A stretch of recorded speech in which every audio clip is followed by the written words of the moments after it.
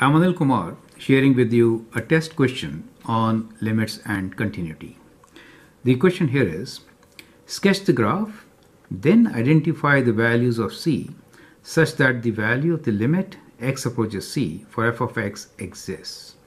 The function f of x is equal to x square when x is less than equal to 2. It is 8 minus cx when x is between 2 and 4 and it is equals to 4 when x is greater than equal to 4. Now to sketch this function, we should know the value of c. But the question really is, sketch the graph, then identify the value of c. So it's kind of important that the first step here is to sketch the graph, right? And the condition is that the limit exists. So the limit exists at c. That is how we have to understand the function. Now, if the limit exists, the function is kind of continuous at c, right? So that is very important. To make this function continuous at c, uh, we could have the value at 2 being same, right? Or at 4 being same. What? It should be at 2, right? So it could be made continuous at 2. So that is the whole idea, right? So what we will do here is we'll start sketching the graph. We can sketch definitely these two parts since both values are clear. For x greater than equal to 4, it is just 4. That means at 4, the value is 4. And as x increases, it is 4. So it's kind of like this. So this is the part which we have sketched from here. Now, since we don't know c, we could sketch x square for x less than equal to 2. At 2 it will be 4, right? So 2 square is 4. So at 2 it is going to be 4. So there's a point here. We can take a point at 0, which is right there. We know it's a parabola, which opens upwards. At minus 2 again it will be 4. So I could sketch a parabola uh, kind of like this. Is it okay? So that becomes this part. Now what we need to do is sketch the straight line. Now how do we do that? And straight line is actually between 2 and 4, right? So it is between 2 and 4. However, this is a straight line, right? With y-intercept at 8. So this is one of the points on the straight line. If I want to make this straight line continuous at 2, the other point will be right here, right? So at least we know two points on this straight line. Do you see that?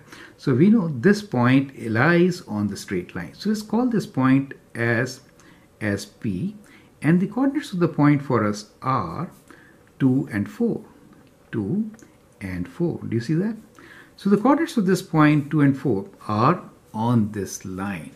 But what I, what I will do here is, since we need to sketch the graph first, we know y-intercept 8 where x equals to 0 is there and this point should lie on this and therefore we can actually connect these and extend right? So we, if I connect this and extend what do I get? This portion I am drawing in dotted lines since the domain for this is from 2 to 4 from 2 to 4 right?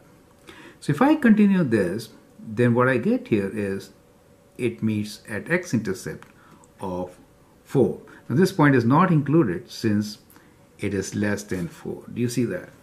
So we get this line here. So the graph has been sketched.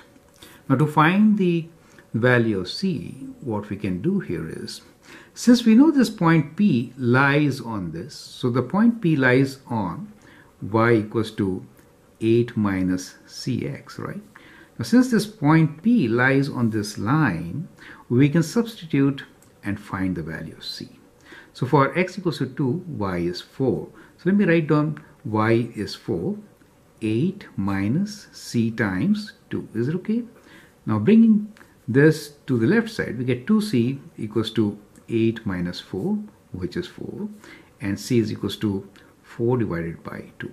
So c is equal to 2. Do you see that? So c equals to 2 is the value of c, correct?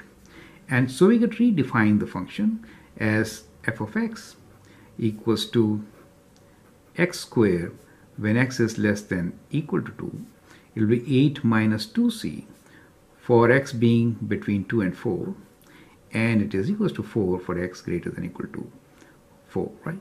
So that is how we could find the value of c redefine it. But in this case interesting part is first we need to sketch the graph right so that is how it should be done i hope the process is clear so the center line which is right here the center piece is open on both the ends as a line segment from the point 24 right and dotted with the y-intercept and then extend it for making x-intercept at 4. So that is how you could actually do it. I'm Anil Kumar and I hope that helps. Thank you and all the best.